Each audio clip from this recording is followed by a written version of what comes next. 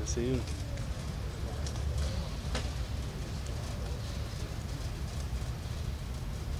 So, Zack, the other day, Pete Werner was up here and he mentioned seeing you at your most confident. What do you think has gone into that sort of boost in confidence coming into camp this year? I think it's it's age and overall knowledge of this defense. Once you really know the defense inside and out, you can start looking into really what the offense is doing and how they're trying to attack you in different ways. I feel like I've secured the knowing our defense part. Now I'm really starting to dive into offense and and, and technique do you feel like going up against this this offense in particular is an advantage for you?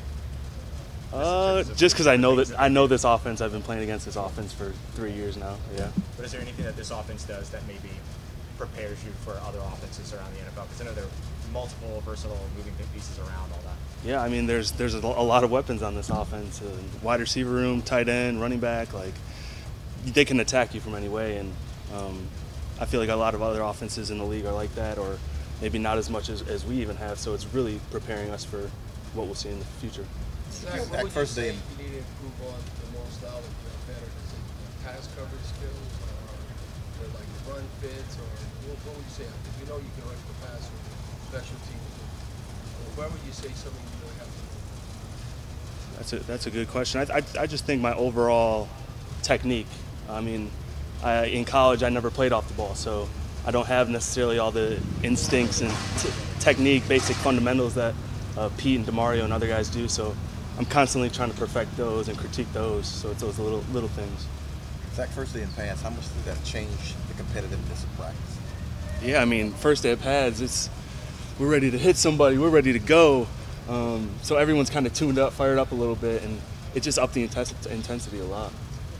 You seen what Kaden did last year. Is that motivating for you, thinking you could kind of follow maybe a similar path within this defense? Yeah, definitely. We, we play very similar roles. I mean, both edge rushers in college and then came here and, and forced to do a, a, mix of it all, and I think that really helped him in his process and his progress. Um, I mean, he's a tremendous player, and, and he kind of showed me the, the blueprint for how, how this kind of in-between mix of a player it, uh, is done.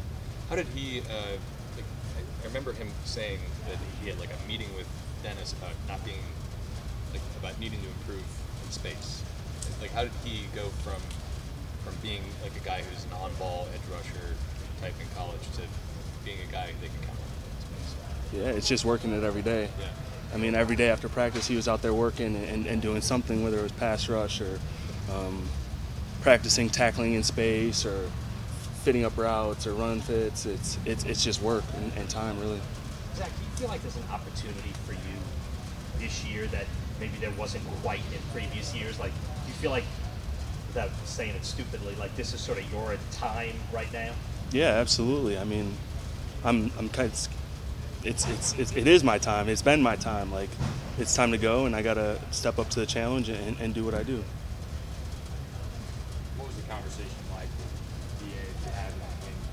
because I mean, it still seems like confidence in that position group with you Mario and Pete is still quite high. And like you said, more of an opportunity. But you have a conversation with somebody basically saying, you know, hey, we're counting on you to be an integral? I mean, there wasn't really any conversations. It was just kind of known, like, Zack, it's time to step up. I, I, I had a conversation with myself, I guess I could say.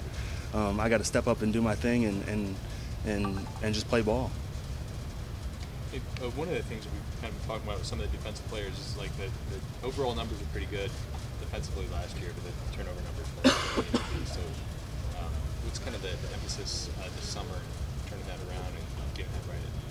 Yeah, every every off season or every training camp we have numbers on the board with punch outs and takeaways, and um, we're constantly working it and always trying to punch punch the ball carrier, um, try, try, to get that ball out, and, and obviously interceptions as well. Um, but I just think us doing that helps the offense as well prepare for other teams trying to punch out the ball too. So we got to get ours, and we're trying to help the offense as well. All right, thanks, Zack. Yeah, thanks, Thank you. Appreciate you.